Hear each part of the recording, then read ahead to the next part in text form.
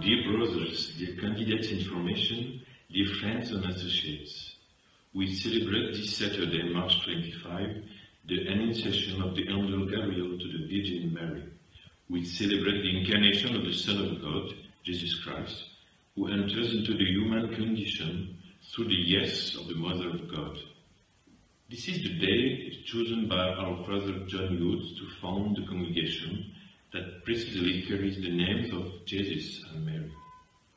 This happened 374 years ago, but as the mystery of the Incarnation is a current reality, I have the intimate conviction that the foundation of the congregation is a current reality.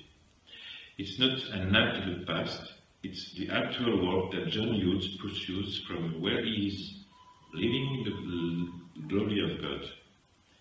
St. John Eudes is not a figure of the past. In him we find our deep inspiration to embody our mission today in fidelity to what he has transmitted to us and today to unite in one body together.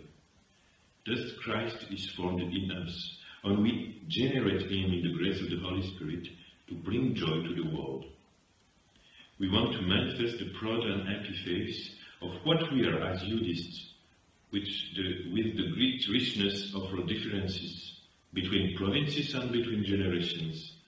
We want to incarnate with joy what is to be Eudist as incorporated and associate, as men as, and as women, in our diverse cultures and our various social situations, by welcoming the other's share as the revelation of my own identity.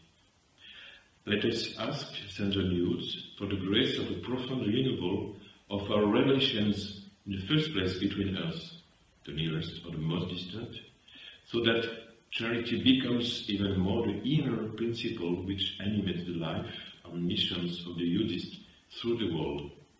Charity is the treasure we want to share. We do not forget that in his testament, St. John Eudes established us heirs to the heart of Jesus and Mary. He gave it to us as the life that gushes forth and animates the body we form together and the mission we perform. May St. Eudes and the blessed of the congregation remind us of love. This is my prayer for each and every one. Good feast of the Annunciation and the foundation of the congregation. May the Holy Virgin bless us with her Son, Jesus.